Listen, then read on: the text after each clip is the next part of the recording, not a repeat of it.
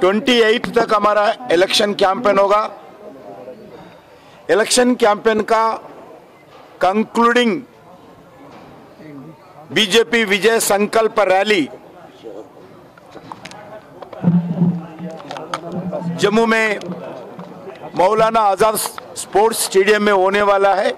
इस स्टेडियम में भारत का प्रधानमंत्री नरेंद्र मोदी जी इस विजय संकल्प महारैली में एड्रेस करेंगे। इस इलेक्शन कैंपेन का लास्ट मीटिंग इसी ग्राउंड में प्रधानमंत्री जी का संकल्प रैली होगा।